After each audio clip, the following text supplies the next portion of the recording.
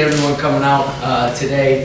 Um, I wanted to start this off because sometimes as you go through a long season and one that obviously ended up fantastically for us, um, sometimes it's um, it's hard to see the forest through the trees, and in this case, you know, in terms of Chris. So I just wanted to hit a couple things because, as I said, sometimes you don't understand or realize uh, in three years exactly what Chris Wright has meant to our program. Um, since he's been here, in terms of his impact on our program since becoming a flyer, for three straight years we've been ranked in the top 25. Um, with him in the lineup, we're 44 and 2 at home, 66 and 21 overall. We've had three straight postseason bids. Um, with him healthy playing, we're 7 and 2 in postseason games. Um, first win in the NCAA tournament in 20 years, and obviously this year an NIT championship uh, with five straight wins, four of them, four of them over BCS schools. Uh, in addition to that, just the increased national exposure uh, that this program has received with him being here, and also um, an impact that I see every day, uh, his influence on our recruiting and how our recruiting has taken a huge jump because of him coming here and him uh, being very uh, outwardly uh, outward spoken in terms of saying, hey, this is a great place, is a great place to be at, legitimizing a lot of the stuff that we try to sell in the recruiting. Um, so his impact on this program has been incredible. Uh, what he's done as an individual is equally impressive.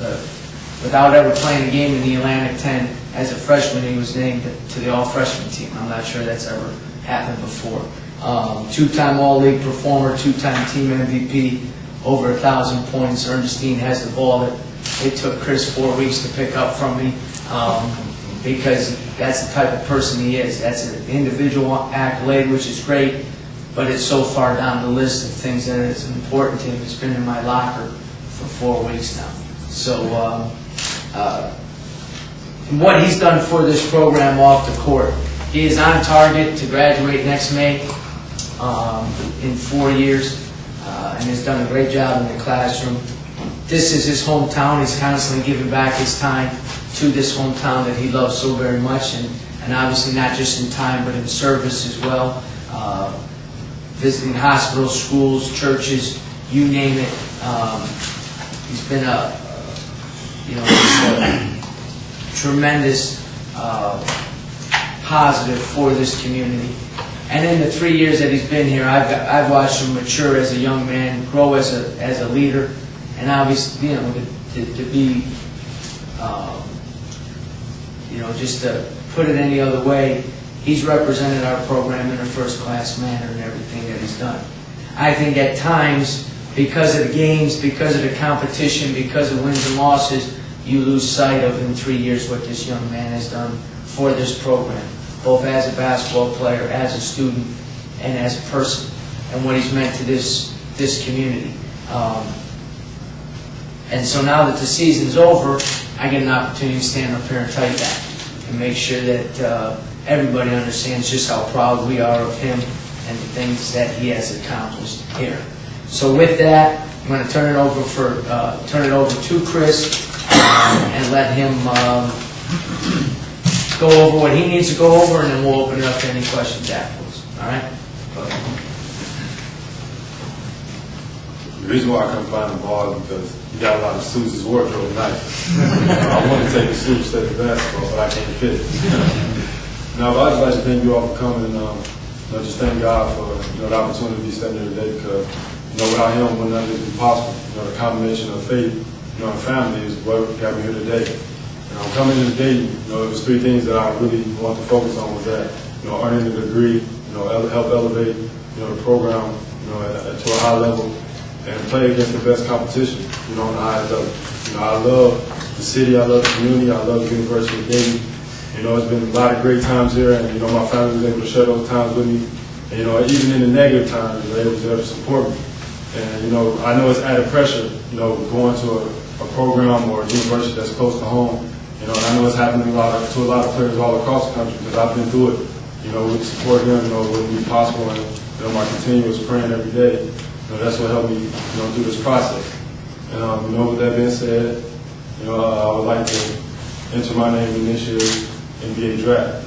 And now from this point forward, you know, I will, you know, focus and continue my progress on my degree, toward my degree, and, you know, continue to improve and, you know, continue to be here to encourage the guys, you know, on the team, because, you know, that's a big part of me, you know, coming here with those guys. And I will just continue to work hard every day and, you know, be ready to participate, you know, in the, in the tryouts and, you know, first week of May.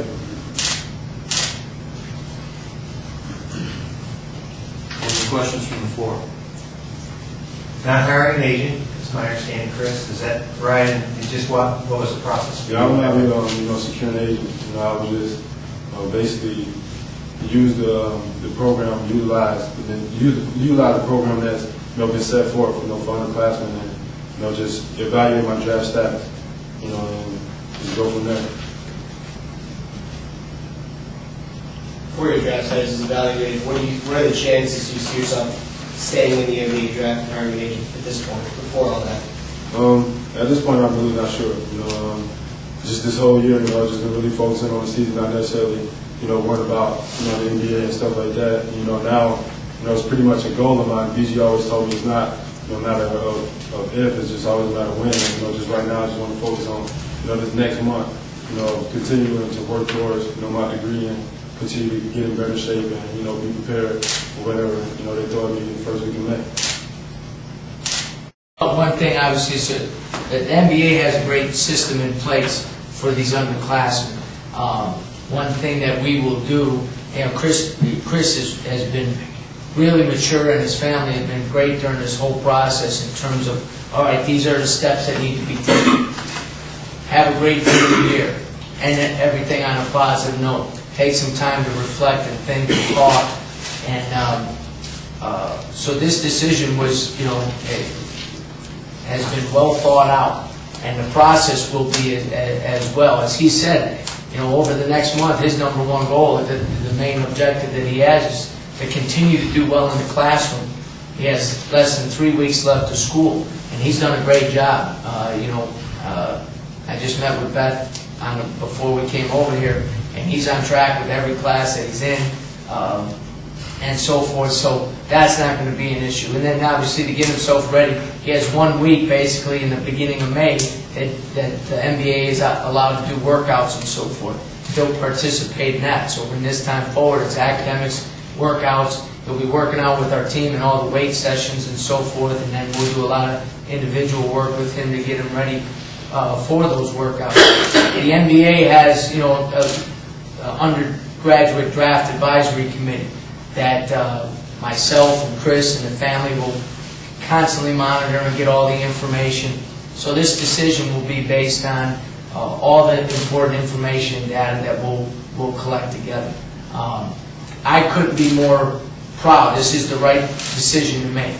And the one thing I wanted to make sure that everybody knows is that if the draft situation is where Chris and his family want it, I'll be the happiest person in the world. And it's, uh, it, it, it, it's, it's why, uh, one of the many things that we talked about when we were recruiting him as a high school player, it is my job to make sure that we do everything to put him in position, uh, to be drafted at where he wants to be drafted and to be able to move on and play at the, at the next level. As I've told him, it's not a question of if, it's when. And if now is the right time, uh, then, uh, then it's the right move to make. It's the right move to make. He does so not only with my blessing, but I'll kick him in the butt to make sure that he, get- you know, if he has any hesitation, if it's the right time, he should go. I want to make sure everybody understands that. And that's the tricky part too of the postseason. You know, you you playing well, playing for a minute. You know, everything is all good, but when you get back, that work gonna be right there waiting for you. Now, it's a lot of nigga work, so I just gotta focus on that right now. And it's important, and he's done it, you know, Chris, like all our guys, have done a good job of staying on top of stuff. And then now we move into another phase the next month, and it's tight, it's one month now. The rules have changed on that.